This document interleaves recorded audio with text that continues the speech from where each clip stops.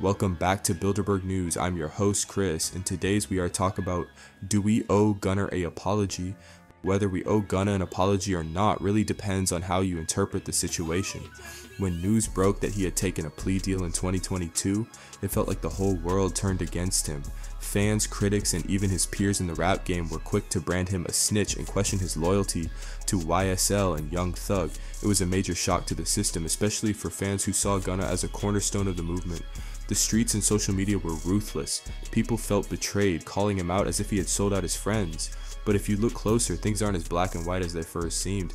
Gunna pled guilty to racketeering conspiracy, but he never directly implicated anyone or admitted to committing any crimes. All he did was take a deal to avoid years in prison. In a situation like that, you have to ask, was he just playing the hand he was dealt to protect his future, his family, and his career? Or was it an act of self preservation that compromised his integrity? It's easy to point fingers when you're not the one facing years behind bars. Now, after some time has passed, there's room to reconsider. Gunna didn't betray anyone directly, he made a calculated legal move. Some may argue that his decision was a smart play to avoid a lengthy sentence and get back to doing what he loves, while others feel he should have taken the real one route and stuck by his crew no matter the cost. But in reality, not everyone has the same level of loyalty or commitment, especially when your freedom is on the line. If you are one of the people who are quick to judge him without knowing all the facts, maybe it's time to reconsider.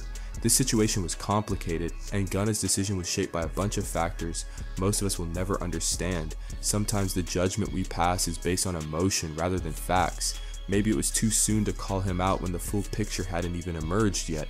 At the end of the day, it's about perspective. Gunna didn't snitch, but he didn't necessarily play the role everyone expected either.